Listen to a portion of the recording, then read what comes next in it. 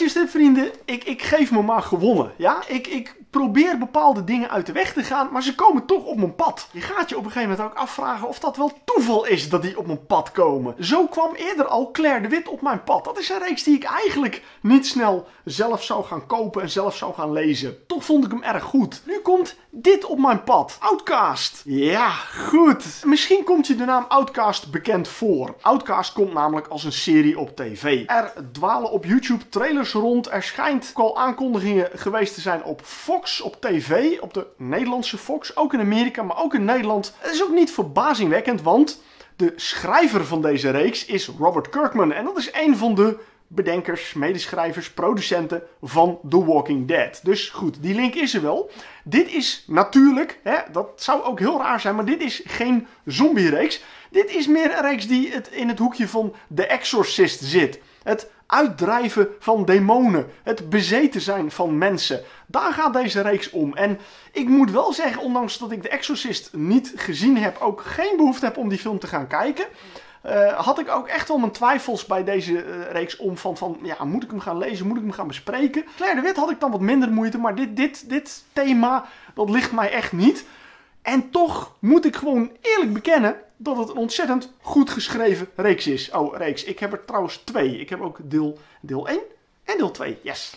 Ja, het is een heel goed geschreven verhaal. De personages zijn dermate interessant dat ik daarom ben blijven lezen. Met name de belangrijkste hoofdpersoon, Kyle Barnes, een, een bezeten jongen die mensenschuw is, die ergens afgezonderd in een huisje woont en eigenlijk daar niet uitkomt. Die met heel veel pijn en moeite een keer door zijn zus naar buiten wordt gesleept om even eruit te zijn, even wat boodschappen te doen. Hij wordt daar gespot door een pastoor, pastor Anderson, die zich bezighoudt met het uitdrijven van demonen. En hij heeft moeite om een bezeten jongen te helpen. En hij weet, hij kent het geheim van Carl Barnes en daarom vraagt hij hem om hulp. Nou, dat, dat wil natuurlijk eerst niet, uiteindelijk stemt hij toe. En dan blijkt die demon die blijkt die Carl Barnes te kennen.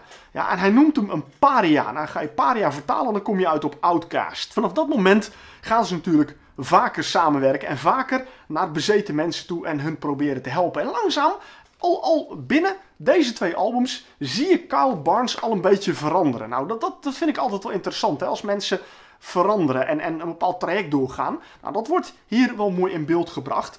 Daarbij zit er natuurlijk ook nog wel weer een hele grote bad guy bij. Het zijn niet alleen maar die willekeurige demonen die ze tegenkomen. Nee, al in het eerste deel laat hij zich zien. En zonder dat je eigenlijk doorhebt dat het hem is, heb je al wel zoiets van, hmm, dat ziet er wel heel creepy uit. In het tweede deel manifesteert hij zich heel erg duidelijk. Hij gaat zoals een confrontatie aan met Pastor Anderson. Dus hij, laat er geen twijfel over mogelijk wie hij is en wat hij kan. Dus nou, dat is natuurlijk heel interessant. Dit zijn de eerste twee delen die nu in het Nederlands verschenen zijn. Deze reeks loopt in Amerika al sinds 2014, juni 2014 al. Dus daar is hij heel populair. Vandaar natuurlijk ook dat er een tv-serie van uh, gemaakt is of gaat komen. Ja, uh, in het Nederlands wordt hij nu uitgegeven door Sylvester Strips. En wat je hier kan zien, ja, de eerste twee delen en ook deel 3 en 4 zijn al aangekondigd. Dus liefhebbers van The Walking Dead, liefhebbers van horror, liefhebbers van Robert Kirkman, liefhebbers van The Exorcist. Je kan je hart ophalen met een nieuwe reeks genaamd Outcast. Is het wat voor je?